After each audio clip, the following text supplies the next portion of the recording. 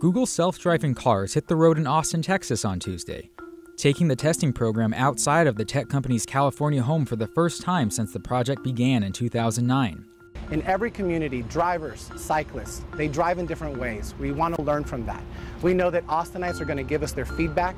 On Monday, Google said one of its outfitted Lexus SUVs has been cruising around a few square miles north and northeast of downtown Austin for a few weeks, creating a detailed map of the streets, lane markers, traffic signals, and other information that helps driverless software understand where the car is in the world. They have, you know, great information on the roads, but they really got to get it down to the lane. They've got to get the curbs. They've got to get kind of the radii of the curbs. All, none of that information is generally available. So it takes this sort of three-dimensional resolution of everything that's around them. The software and sensors have started doing the driving after being guided by drivers in recent days, Google said.